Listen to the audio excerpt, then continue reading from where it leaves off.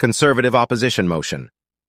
Coming on Monday, Mr. Poilievre, Carleton, that given the many reports of foreign interference in Canada's democratic processes by, or on behalf of, the communist regime in Beijing, the Standing Committee on Access to Information, Privacy and Ethics be empowered and instructed to study all aspects of foreign interference in relation to the 2019 and 2021 general elections, including preparations for those elections, and to assist the committee with this study, A. Katie Telford, Chief of Staff to the Prime Minister, be ordered to appear before the committee as a witness for three hours on her own, under oath or solemn affirmation, at a date and time no later than April 14, 2023, to be fixed by the chair of the committee.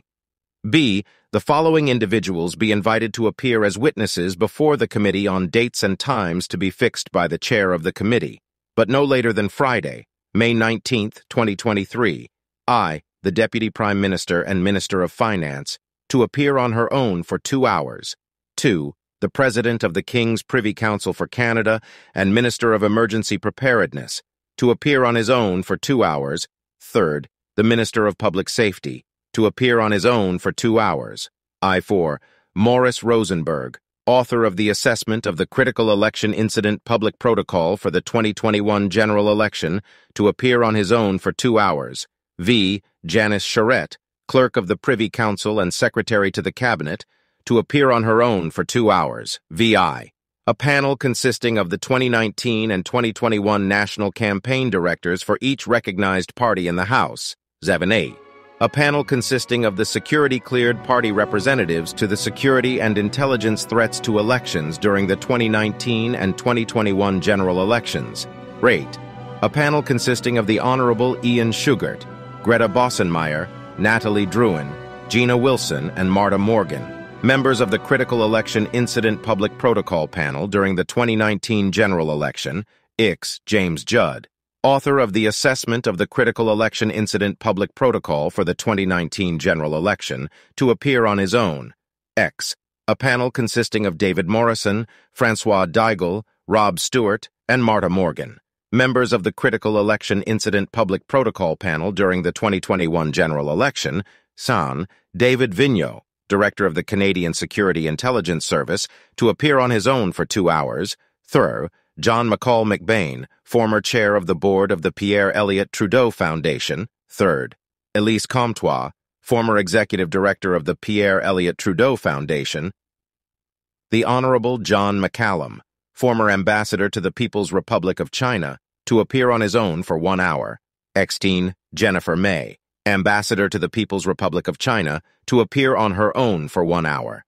C. For the purposes of this study, it be an instruction to the committee that I. It hold at least one additional meeting for a duration of three hours during each House sitting week concerning this study, A2. It hold at least one meeting during the adjournment period beginning March 31st, 2023, if necessary, for the purposes of paragraph A, 3, any proceedings before the committee in relation to any motion concerning non-compliance with paragraph A of this order shall, if not previously disposed of, be interrupted upon the earlier of the completion of four hours of consideration or one sitting week after the motion was first moved, and in turn, every question necessary for the disposal of the motion shall be put forthwith and successively without further debate or amendment.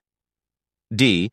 For the purposes of this study, the committee shall, notwithstanding paragraph P of the special order adopted on Thursday, June 23, 2022, have the first priority for the use of House resources for committee meetings, and E the evidence and documentation adduced by the Standing Committee on Procedure and House Affairs during the current session in relation to its study of foreign election interference shall be deemed to have been laid upon the table and referred to the Standing Committee on Access to Information, Privacy, and Ethics. Notice also received from Mr. Cooper, St. Albert, Edmonton, Mr. Barrett, Leeds, Grenville, Thousand Islands and Rideau Lakes, Mr. Chong, Wellington, Halton Hills, Miss Dancho, Kildonan, St. Paul, Miss Lantsman, Thornhill, Mr. Scheer, Regina Qu'Appelle, and Mr. Berthold, Megantic, L'Érable. March 16, 2023. I hope for Canada to calmly, coolly, and collectively look into those that decided democracy is for chumps, and this chump ain't stopping until they put me down. Soon enough, Cafe. if the tweets be true. always, have a Hugs, kisses, and best wishes.